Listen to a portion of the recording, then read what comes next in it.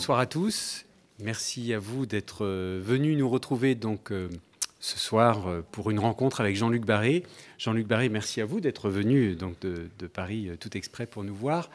et merci à vous donc de nous avoir fait grand plaisir avec ce livre dont le titre est brutal, pervers, mais un beau roman. J'espère que donc vous l'avez lu, qui se passe dans le monde du livre, dans le monde de, l'édition, et qui, je ne raconterai évidemment pas euh, toute l'histoire, mais qui donc nous, présente euh, plusieurs portraits donc de, comment dirais-je, euh, d'un écrivain très important en fin de vie, tourmenté, pervers, mais avec beaucoup de mystère. Euh, et puis un personnage aussi donc d'enquêteur euh, qui, souhaite en savoir plus précisément sur euh, ce grand écrivain. et puis au-delà donc de, cette trame, Jean-Luc Barré, vous nous, emmenez dans, la coulisse, dans les coulisses du monde du livre à Paris. Et je crois que euh, déjà peut-être Eric euh, Nolot a trouvé que euh, d'excellents passages qui lui avaient plu étaient liés, j'allais dire, au point où précisément vous vous montrez ironique et même très mordant. nous pourrons peut-être d'ailleurs en, lire un ou deux extraits tout à l'heure. voilà, donc c'est un, un très très beau livre. C'est aussi un premier roman, sauf erreur, alors que vous êtes donc plutôt connu comme biographe et tout particulièrement, donc, euh, vous avez donné une très belle biographie de François Mauriac. Euh, j'avais lu aussi donc celle de Dominique Deroux dont nous parlions à l'instant même. Vous avez fait énormément de choses et j'espère que nous allons profiter un peu de cette occasion pour vous entendre sur tous ces sujets. Vous êtes aussi, c'est très important, aujourd'hui donc le responsable de la collection bouquins chez Robert Laffont, qui est vraiment une très très belle série. Alors je ne sais pas trop par où commencer, mais euh, il me semblait peut-être euh, intéressant et simple de débuter simplement par euh, cette question qu'est-ce qui vous a amené au roman Après une œuvre aussi abondante, aussi riche, et j'imagine des grands plaisirs d'enquêteurs, de, de, chercheurs, qu'est-ce qui vous a tout d'un coup fait dériver vers le roman? D'abord, bonsoir à toutes et à tous ne sais pas si j'ai dérivé vers le roman. Je crois que, enfin, quand j'ai commencé à écrire, j'ai commencé à écrire des romans que je n'ai pas publiés. Euh, et puis j'étais aussi euh, tenté par une carrière d'historien, donc j'avais, au fond, je menais un peu de front ces deux, ces deux ambitions, ces, deux envies.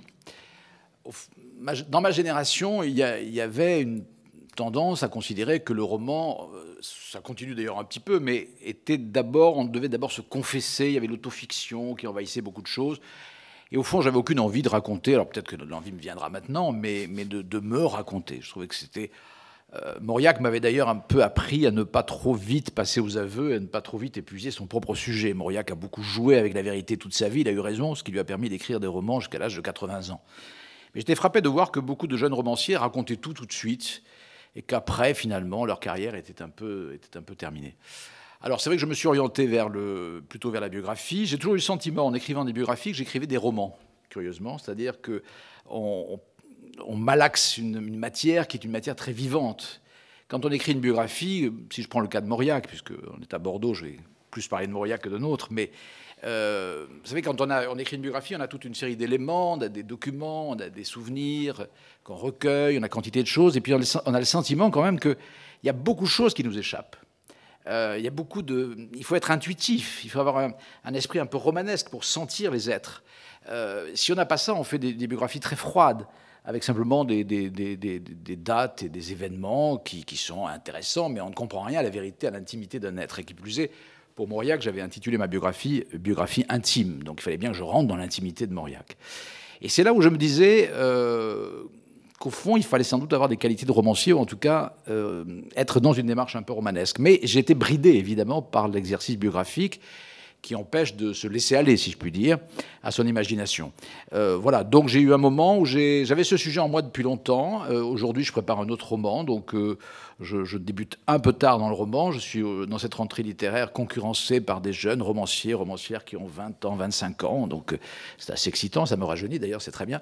Mais, mais je n'ai pas pensé à ça, on ne calcule pas tout quand on écrit. Enfin, il y a un moment où ce livre s'est imposé à moi. Euh, il y a très longtemps que j'avais l'idée de sans doute ce livre est né des fréquentations que j'ai faites dans le milieu littéraire depuis longtemps, sans doute par la fréquentation de Mauriac, si je puis dire, bien que je ne l'ai pas connu, mais enfin, quand on côtoie François Mauriac pendant quatre ans, on finit par se faire une certaine idée aussi de ce qu'est un écrivain, de son mode de fonctionnement, de sa manière de créer, de son rapport avec les autres. Tout ça composait un, personnage que, euh, de romancier dont j'avais envie de raconter, j'avais envie de raconter un monstre au fond. Euh, parce que je considère que tous les, grands écrivains, tous les, tous les grands artistes sont des monstres à leur manière.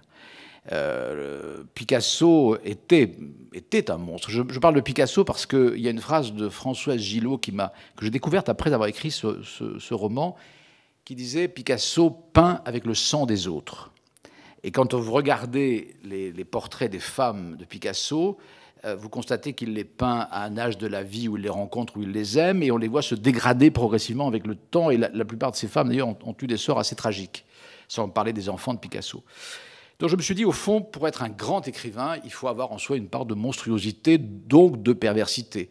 Euh, et ce sujet m'intriguait à, à la, lumière aussi d'autres écrivains que j'aime beaucoup, que je lis depuis mon adolescence, comme Georges Simenon, par exemple qui pour moi est l'incarnation même d'une forme de perversité. Arriver à écrire 200 romans en piochant en permanence dans sa vie personnelle, dans celle de son, entourage, avec là aussi des cadavres autour. Euh, tout cela a composé une œuvre. Euh, et puis il y a le cas de François Nourricier, bien sûr, qui m'a aussi inspiré, qui était un, qui est un peu oublié maintenant, mais enfin quand même, qui a été le, secrétaire général de l'Académie Goncourt, le président d'ailleurs, euh, et qui lui était une certaine incarné. Aujourd'hui, quand je parle de nourricier, on me dit oh mais vous avez dit la moitié de la vérité, tellement, tellement ce personnage en soi était assez monstrueux, et lui aussi d'ailleurs ne pouvait créer, écrire qu'à partir de son entourage et en détruisant son entourage. C'est ça qui, m'intéressait, c'est de voir comment, au fond, il fallait en passer, pour certains écrivains en tout cas, par cette étape-là, euh, qui consistait à non seulement tous les écrivains finalement racontent ce qui leur arrive, euh, observent. Euh, et c'est très dangereux de fréquenter un écrivain parce qu'en permanence il est en tête de prendre quelque chose aux autres, sans quoi il ne peut pas écrire. Bon, et, donc Simon et Nourricier allaient plus loin encore que cela. Ils mettaient en scène des drames qui servaient à l'écriture. Et, donc il manipulait au fond les êtres. Euh, qu'il côtoyait. Euh, François Nourricier, c'était très frappant dans sa vie de, euh, dans sa vie de couple. Il s'était marié trois fois et sa dernière femme était une, une Rothschild. déjà, elle était plus riche que lui, ce qui était déjà quasi impardonnable dans la relation. On voit bien à quel point il exerçait. Et c'est un peu le cas de mon héros, d'ailleurs, qui a épousé une actrice qui est plus riche que lui. Donc l'argent intervenait dans ce rapport, mais surtout, cette femme, j'étais très intrigué de voir que cette femme, à la fin de sa vie, était devenue une véritable, une véritable pocharde, enfin une femme qui buvait tout ce qu'elle pouvait boire pour se détruire. Euh, et François Dorissier assistait à cela, assistait à cela, et on savait très bien que tôt ou tard, il allait faire un livre.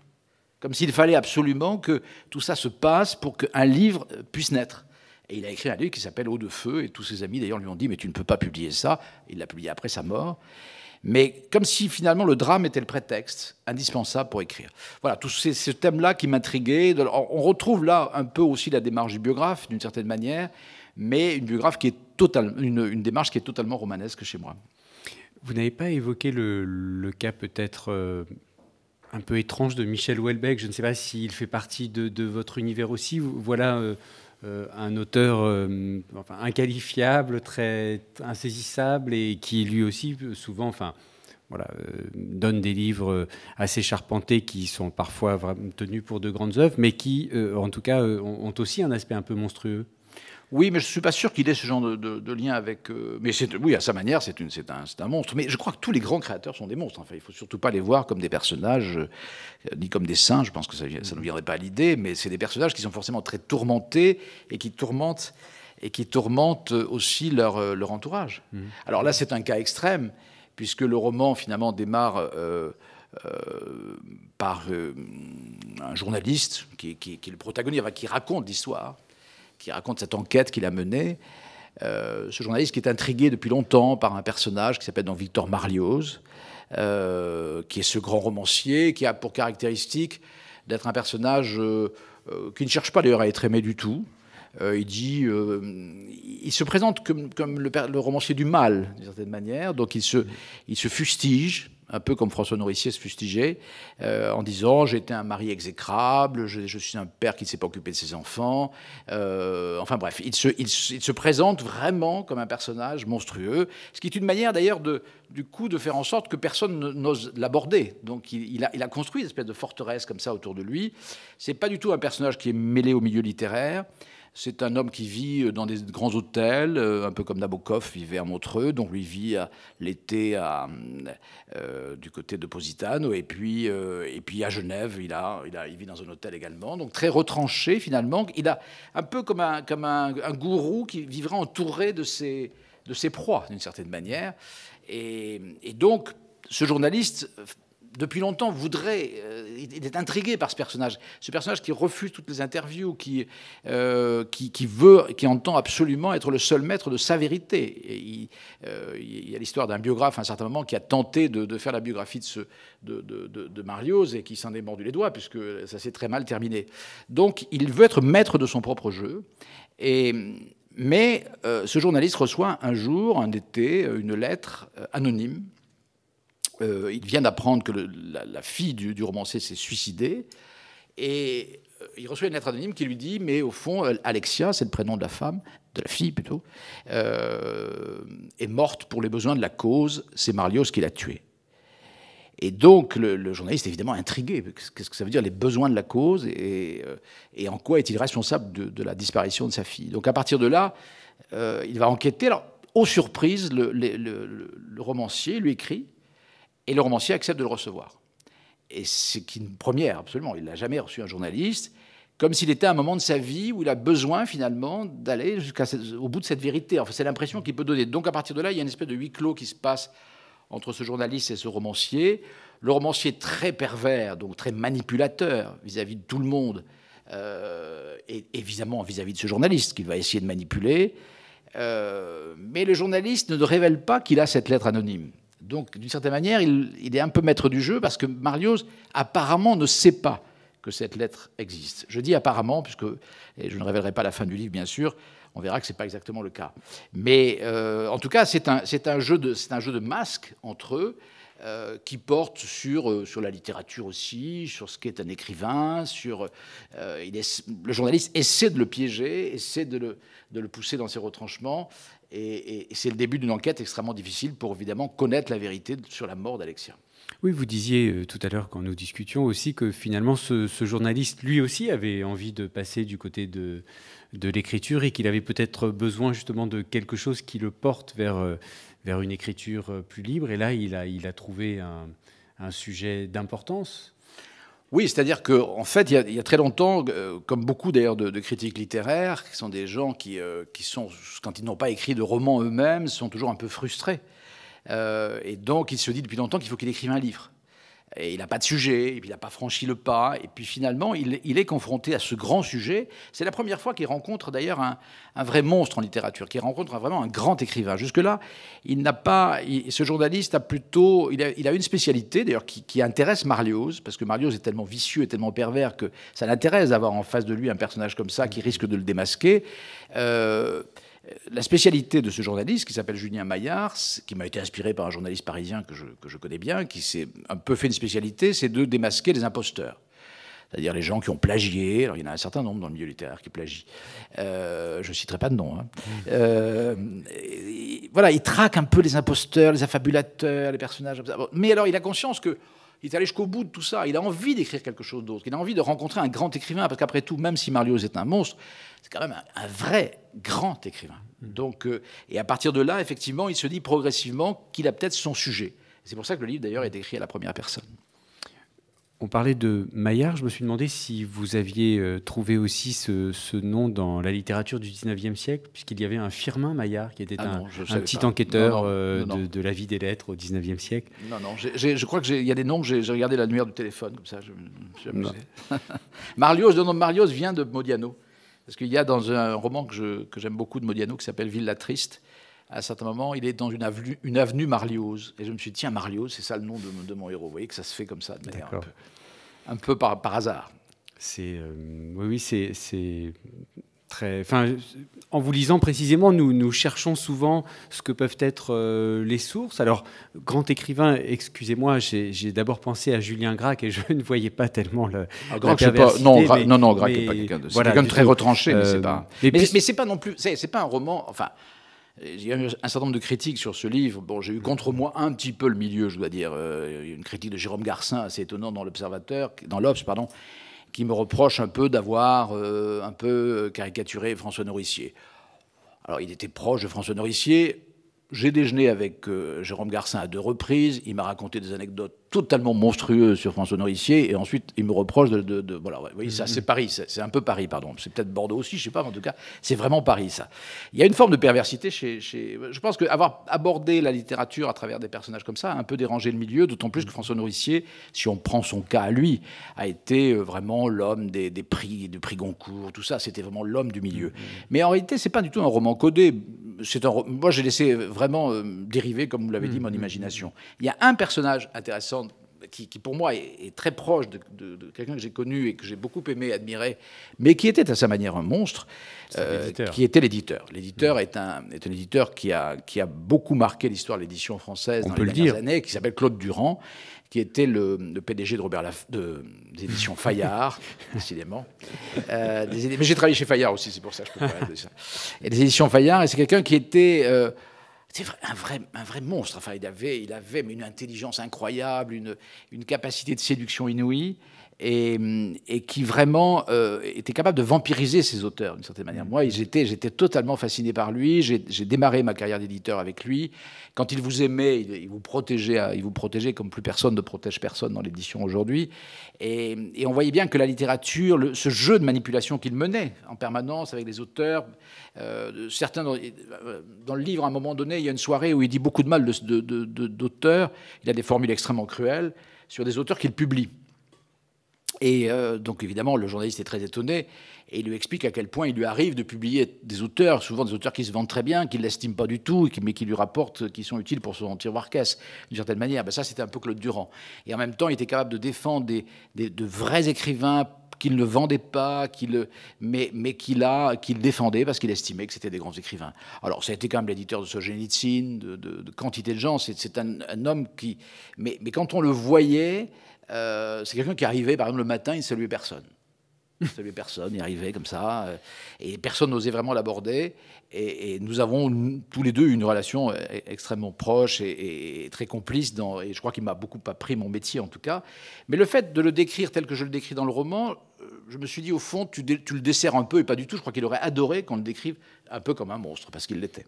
Oui, là, le, portrait, euh, me semble-t-il, en fait plutôt effectivement euh, un, homme brut, raide, un homme de, pouvoir euh, assez, assez sûr de lui, mais, mais qui n'est pas particulièrement, enfin, j'allais dire trop. il protège beaucoup l'auteur. C'est-à-dire que la particularité de, de, Claude Durand, il s'appelle Richard Durban dans le roman. Oui, je ne me suis pas beaucoup forcé.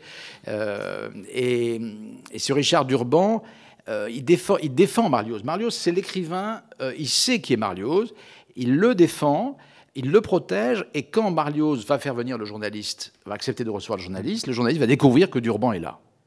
Comme une sorte de, j'allais dire d'ange gardien, c'est plutôt de démon gardien. Euh, il le protège et il menace le journaliste.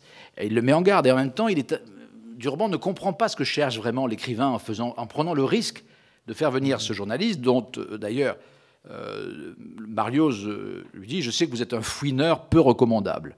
Mais c'est ça qui intéresse Mario, c'est-à-dire d'avoir un personnage qui peut-être va le démasquer. Et à la fin de sa vie, au fond, il a peut-être envie d'être démasqué. Est-ce que vous voulez que j'en lise un extrait ou vous préférez le lire Ah non, allez-y. même non, un, extrait pour vous montrer. Euh, ce, je, ne dis pas forcément que ce sont euh, systématiquement les meilleurs passages, mais assurément il y a, euh, vous, vous, allez le voir, un sens de la formule tout à fait heureux. Durban était dans ses œuvres, ou plutôt celles des autres, quand sa secrétaire m'introduisit auprès de lui les coudes sur la table, se tenant la tête d'une main, de l'autre, brandissant un stylo comme une arme de poing, il contemplait avec ravissement le peu qui subsistait d'un texte qu'il venait de corriger. Une épave maculée de rouge, son encre favorite. Chacun des feuillets épars sur son bureau, désossé, barbouillé en tous sens, zébré de ratures, de renvois, d'alinéas. Seules quelques bribes de phrases issues du manuscrit originel avaient été épargnées, flottant comme des rescapés après un naufrage. Durban leva vers moi un regard de tortionnaire extatique, enchanté de me prendre à témoin des sévices méritants auxquels il devait se livrer pour sauver certains de ses auteurs. Vous n'avez pas idée de ce qu'il faut faire pour les rendre publiables s'exclama-t-il en levant les bras, secoué d'un rire tonitruant. Pas un mot qui tienne, du charabia à chaque ligne, et tout ce rafistolage pour leur donner l'illusion d'avoir écrit leur livre. Ils auront d'ailleurs vite fait de s'en persuader. La fin, ils en seront tellement convaincus qu'ils ne douteront plus de leur génie.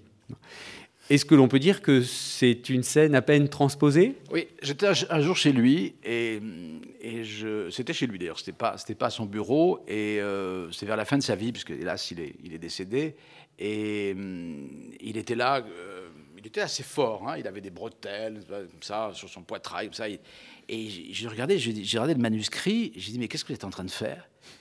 Et il était en train en effet de travailler sur le manuscrit d'un essayiste très connu qui s'était risqué à écrire un roman et qui avait été conseiller d'un ancien président, je n'en dis pas plus, mais voilà, et donc euh, quelqu'un de très connu, et qui s'était lancé dans le roman, et, et, alors il prenait un plaisir inouï en même temps de montrer tout le travail qu'il fallait pour sauver ce texte, d'une certaine manière.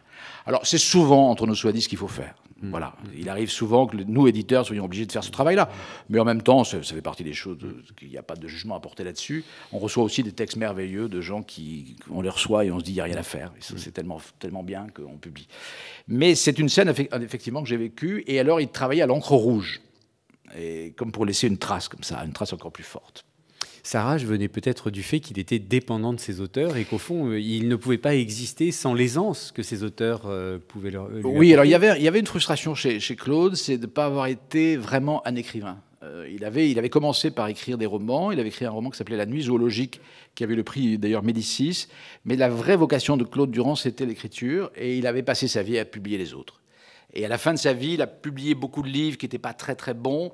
Et un jour, il m'a dit une chose d'ailleurs qui m'a beaucoup touché. Il m'a dit, au fond, j'aime bien la façon dont vous avez construit votre vie, puisque vous passez la moitié de votre vie à écrire et la moitié de votre vie à publier. Et j'avais trouvé cet équilibre. Et c'est peut-être en le regardant faire d'ailleurs que je me suis dit qu'il fallait faire ça. Et ne pas consacrer sa vie uniquement à publier les autres. Voilà, mais bon. Justement, comment... Euh, alors d'abord, une question, puisque nous parlons un peu de cuisine, excusez-nous. Euh, pourquoi publier chez Grasset, puisque vous êtes plutôt euh, affilié à un autre groupe, à d'autres maisons?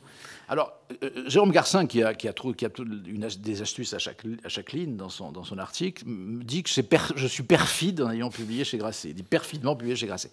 Pourquoi perfidement? Parce que Nourricier était publié chez Grasset. Bon, alors vraiment, je, Peut-être que inconsciemment j'y ai pensé, mais je ne crois pas, franchement. Non, j'aime beaucoup Grasset, je trouve que c'est une très belle maison. Je ne voulais pas publier dans ma propre maison d'édition, ce qui est très malsain parce que je publie parallèlement d'autres livres c'était pas, pas bien de le faire. Et puis, je trouvais qu'un premier roman devait paraître dans une maison d'édition qui avait un label très littéraire, en l'occurrence Grasset. Grasset, c'est pas tout à fait, euh, c'est pas contestable, quoi. Voilà. Mm. Donc, euh, non, il n'y a pas de perfidie du tout.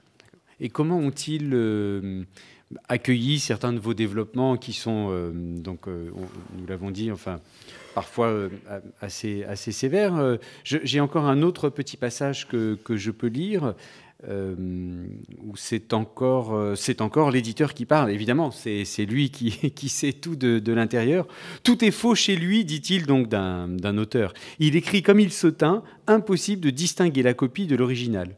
Durban, en grande forme, s'adonnait devant nous à son jeu favori, l'exécution en série de certains de ses auteurs. Il n'avait pas besoin de les nommer pour qu'on les en, pour que pour qu'on les identifie aussitôt.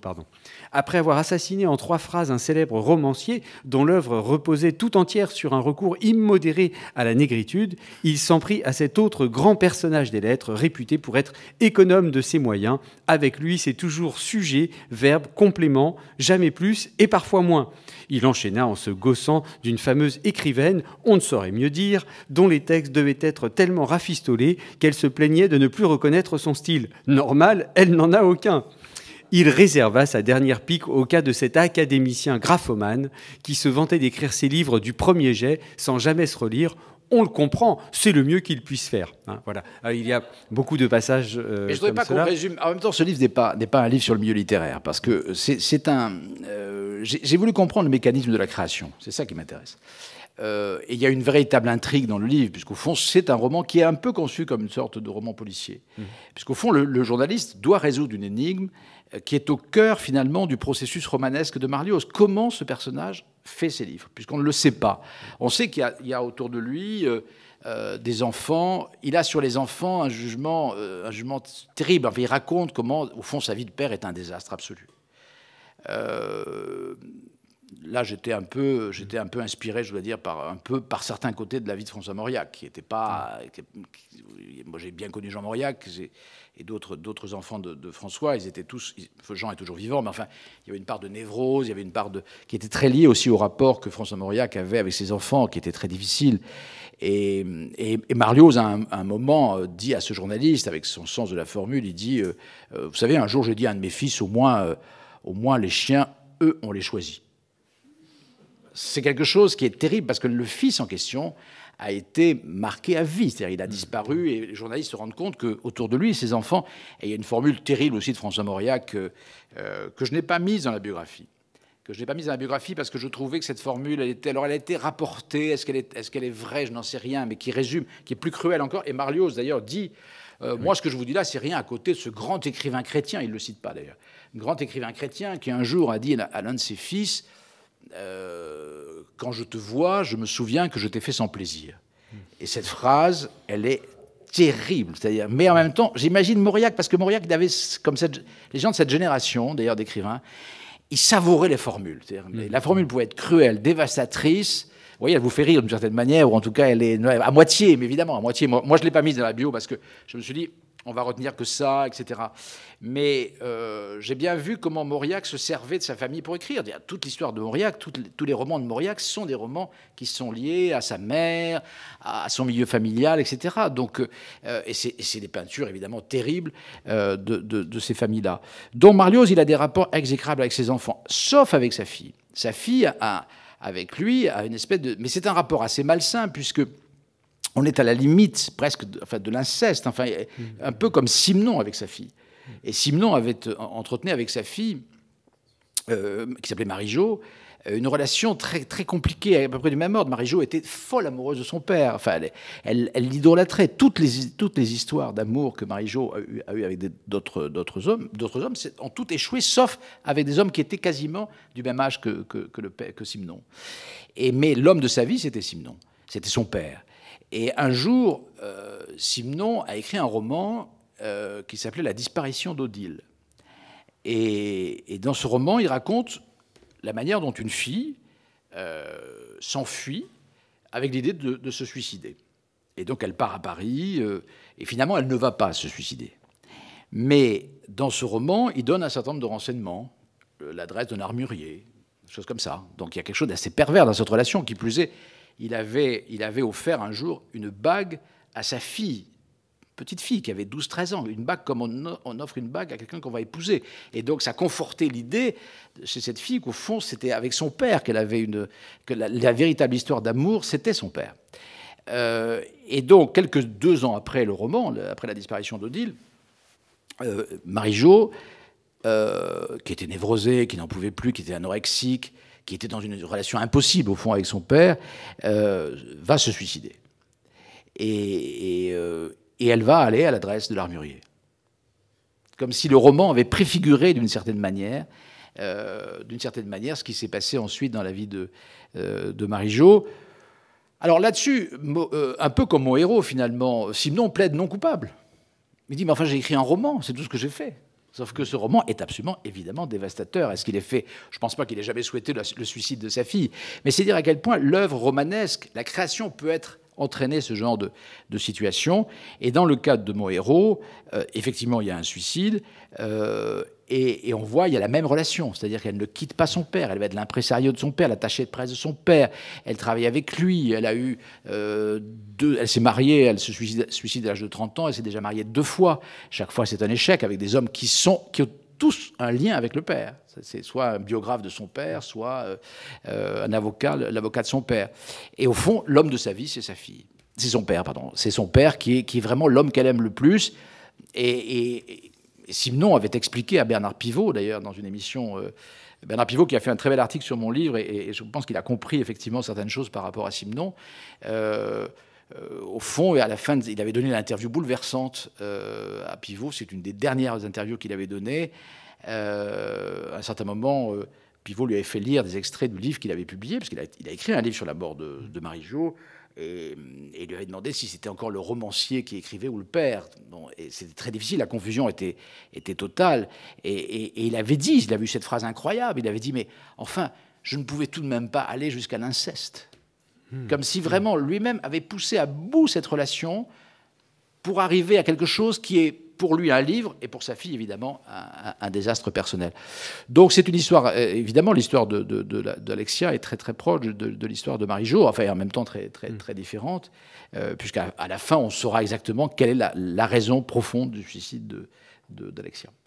Votre personnage, ce, grand écrivain, semble quand même s'en accommoder plutôt bien. Au fond, euh, vous, le, c'est précisément par là que vous montrez un peu son aspect le, plus, pervers ou le plus monstrueux. C'est qu'au fond, somme toute, il est finalement satisfait de, la trajectoire qu'il a suivie. Oui, mais il dit en même temps que. Il dit à un moment donné, dans, la, dans, la, dans, le, dans un, échange avec euh, Maillard, il dit au fond, vous savez. Euh, euh, nous, nous, les romanciers, nous sommes des, des, traîtres, des pillards. Nous sommes... Donc il y a une espèce de fatalité, quoi. Une espèce de fatalité, comme s'il ne pouvait pas créer autrement. Oui, mais c'est fatal. Non, c'est pas qu'il s'en accommode, parce qu'au fond, il, il, est, il est pas, à aucun moment, il n'est satisfait ni heureux de ça. Mais son œuvre en dépend. Vous savez, les, écrivains, enfin, les écrivains, les peintres, les, cinéastes, enfin, tous les créateurs sont des, sont des êtres qui, euh, qui ne s'intéressent qu'à leur œuvre, enfin, qui, sont, qui sont totalement dans l'œuvre, et tout se rapporte à l'œuvre tout sert l'œuvre. Donc sinon, il n'y a pas d'œuvre. C'est comme ça. Euh, là, je parle évidemment des très grands. Euh, et donc, euh, il est dans cette espèce d'égoïsme, de perversité qui. La perversité, dans l'occurrence, c'est le jeu de manipulation permanente. Alors, elle va jusqu'à jusqu'à la perversité sexuelle, naturellement. Parce que Marlios est un homme qui, au fond, met en scène également un certain nombre de scènes sexuelles, notamment de sa femme. Il y a une scène à un moment donné où euh, c'est là où sa femme d'ailleurs bascule dans l'alcool quand elle se rend compte qu'elle a été manipulée par lui, euh, où elle rencontre euh, un homme, ils sont en voyage à Londres, dans mon souvenir, et, là, un soir, lors d'un cocktail, elle rencontre un homme, il est là, Marius, mais elle rencontre cet homme, et cet homme lui plaît. Et Marius ne s'oppose pas du tout à la rencontre, il dit simplement qu'il va être présent quand ça se passera mais ça, c'est très célinien. Je sais pas si vous. Dans la vie de Céline, il y a beaucoup de ça. Céline était un voyeur euh, qui adorait voir, sa, notamment Elisabeth Craig, qui était sa maîtresse américaine, la voir faire l'amour avec d'autres hommes. Euh, et donc, il y, a, aussi une part de voyeurisme dans l'écriture de, la création. C'est absolument évident. Si vous ne voyez rien, vous ne racontez rien. Et là, euh, donc, il va assister à ça.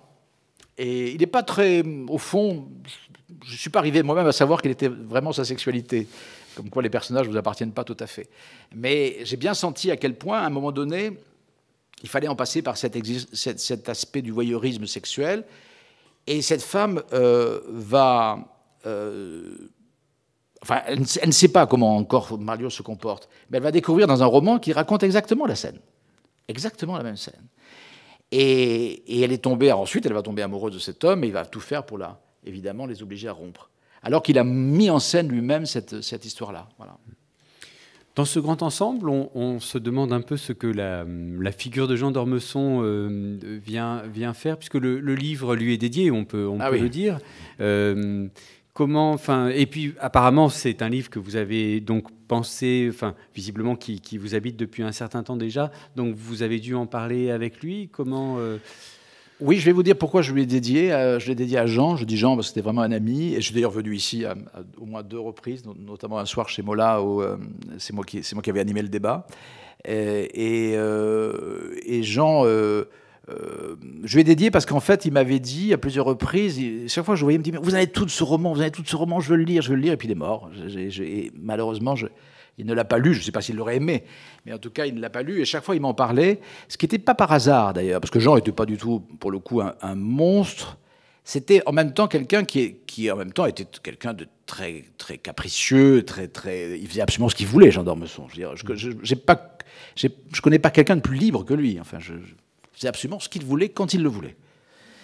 Et, il avait une vie privée. Euh, bon, une biographie de lui va sortir dans quelques, dans quelques semaines, donc je révèle pas grand-chose, qui plus est, on le sait, puisqu'il y a eu des, des, des, enquêtes. Euh, il avait, euh, quand il a épousé sa femme, il a dit Je vous épouse, mais je ne serai jamais un mari il n'aura jamais été un mari, ce qui n'a pas empêché d'ailleurs que ce couple euh, avec Françoise a été un très beau couple. Enfin, mais, Jean a une vie, une vie évidemment très animée, très agitée. C'est un grand séducteur.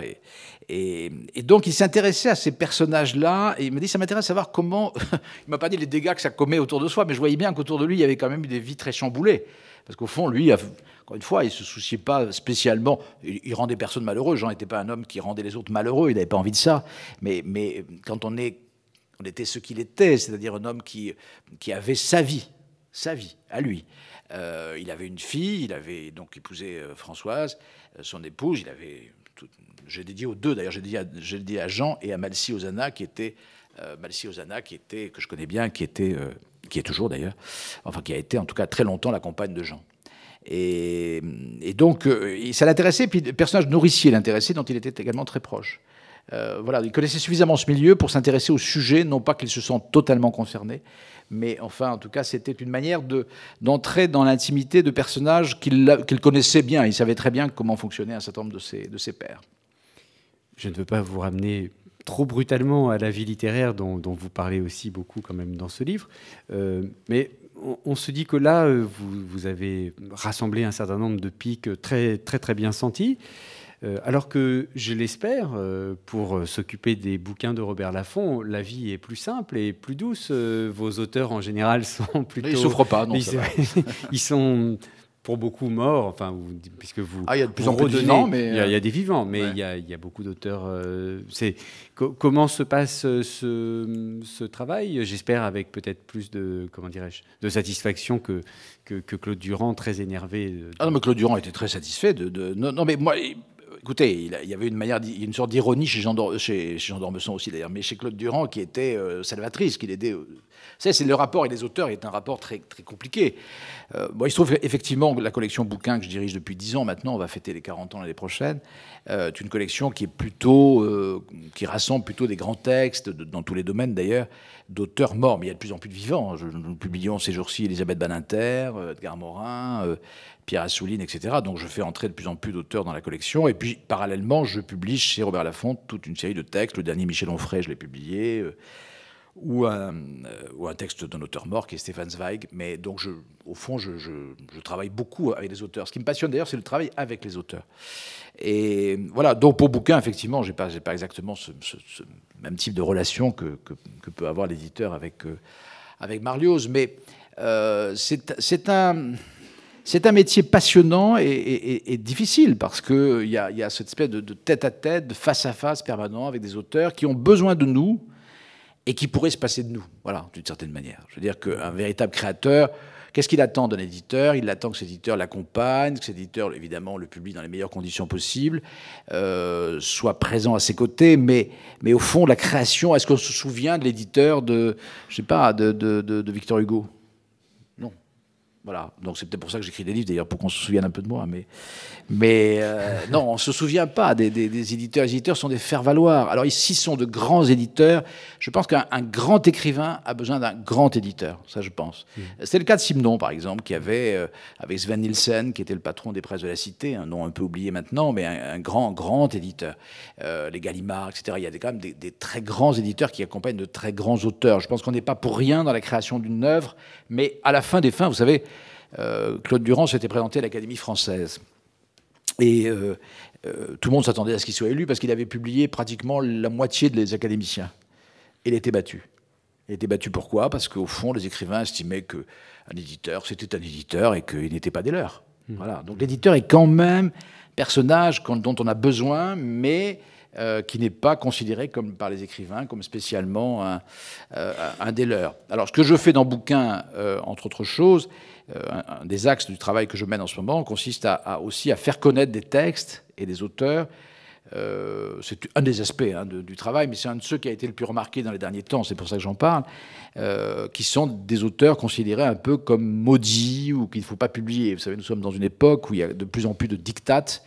Euh, il ne faut pas publier un tel, il ne faut pas rééditer un tel, etc. Je prends le cas de Céline, c'est évidemment un débat qui a eu lieu. Moi, j'ai pris position en disant qu'il fallait rééditer Céline. Non pas que j'approuve évidemment pas les idées de Céline, mais enfin, je ne vois pas pourquoi on interdirait au lecteur de prendre connaissance de texte. Et c'est ce que j'ai fait avec Charles Maurras, c'est ce que j'ai fait avec Lucien Rebatté, c'est ce que je fais aussi avec des auteurs euh, dont, les, dont les souvenirs ou les mémoires n'ont pas paru de manière intégrale. Ça va être le cas avec Julien Green cette année. D'accord dont nous allons publier le journal intégral. C'est un journal qui n'a jamais été publié dans son intégralité, puisque Green n'avait refusé de son vivant que paraissent toutes les pages intimes, pour ne pas dire sexuelles, du journal. Voilà, c'est un, travail aussi de... Je pense que l'éditeur, c'est celui qui, doit aller contre l'air du temps, qui doit être euh, un homme capable de... c'est un peu le cas du, romancier aussi, c'est-à-dire de, dire les vérités qu'il ne faut pas forcément dire. on, est, là pour déranger. Si on dérange rien, alors je veux dire, franchement, il faut faire un autre métier. Justement, vous nous disiez que vous êtes déjà euh, entré dans, l'écriture d'un autre roman. Euh, est-ce que le, biographe aussi que vous êtes, l'enquêteur, ne regrette pas de s'attaquer à, un sujet de grande importance pour euh, non, moi j'ai bien l'intention d'écrire une autre biographie dont je vous révèle, euh, je ne ah, vais pas vous révéler le sujet, mais, mais, qui, est en, qui est en route. mais le, plus, le plus urgent pour moi, c'est un roman, oui, qui, qui, est un roman qui va plutôt euh, traiter euh, du milieu politique que je connais bien par ailleurs, puisque j'ai eu aussi des, des fonctions politiques il y, a, assez longtemps dans une ville qui n'est pas très loin d'ici, qui est la ville de Villeneuve-sur-Lot que tout le monde connaît désormais. Euh, et, mon, dernier livre était d'ailleurs, qui s'appelait Dissimulation, était un livre sur l'affaire Cahuzac. Et je connais bien ce milieu que. Bon, j'ai travaillé beaucoup avec Jacques Chirac, on le sait, puisque j'ai écrit avec lui ses mémoires. Et, c'est un milieu qui m'intéresse depuis toujours. Parce que je trouve que c'est un milieu. Le milieu politique est totalement romanesque. Et de plus en plus, regardez ce qui se passe autour de nous. Prenez le cas de, l'actuel président de la République, on a l'impression d'un roman permanent. Enfin, c'est très... Non, mais c'est vrai, le personnage est là, on ne sait pas qui il est vraiment. Je parle sur le plan personnel. Euh, souvent, il y a un mystère politique. L'affaire Fillon, par exemple, est une affaire totalement romanesque hélas ou heureusement, ça dépend du point de vue évidemment qui est le nôtre.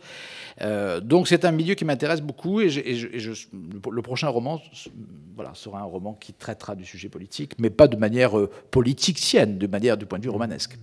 D'accord. Eh bien, euh, je crois que... Il y a, quelqu'un de Villeneuve-sur-Lot, là, un de mes amis qui est là. Mais il n'est plus à Villeneuve-sur-Lot maintenant. Il, a, il, a, il a, comme moi, il, il est parti au bout d'un moment. C'est une ville incroyable, Villeneuve-sur-Loire. C'est une ville totalement romanesque. Dans ce livre qui s'appelle Dissimulation, je fais un portrait de cette ville. C'était une ville, c'est une ville d'ailleurs toujours, mais euh, il y avait pendant 40 ans, il y a des histoires compliquées. Il y avait toujours des maires qui finissaient jamais, finissaient jamais leur mandat. Certains, même, il y en a même un qui, a terminé en prison d'ailleurs. Et, et, Jérôme Cahuzac est arrivé parachuté dans cette ville euh, je connais bien Cahuzac, que, j'aime bien par ailleurs, mais, évidemment, ce qu'il a fait n'est pas. Hein, bon. Mais, là aussi, je pense que le rôle des romanciers, c'est de se situer au-dessus de la. Moi, ce qui m'intéressait dans le cas de Cahuzac, c'est de comprendre comment on en arrive là, quel est le mécanisme, etc. Et dans cette ville, il arrive dans cette ville, il, pense que lui, d'abord, qu'il ne doute de rien, donc euh, il est convaincu qu'il va, sauver cette ville. Cette ville, elle était habitée par des démons, et désormais, euh, cette ville va être sauvée par Cahuzac. Cahuzac arrive avec ses secrets, il arrive avec sa pardon, il arrive avec quantité de choses. il ne comprend pas, il ne sait pas, mais moi je le comprends assez vite parce que je connais l'histoire de cette ville, que c'est cette ville qui va le démasquer. Et qu'elle est faite pour ça. C'est une ville très mauriacienne, ce point de vue-là. Et en effet, tout va partir de cette ville, puisqu'il y a une cassette qui va traîner pendant dix ans, avec sa voix enregistrée, qui un jour va atterrir euh, là où on sait. Voilà. Mais c'est une ville très agréable par ailleurs, je vous conseille d'y aller. Mais pas forcément de faire de la politique. Merci beaucoup, merci beaucoup Jean-Luc Barré.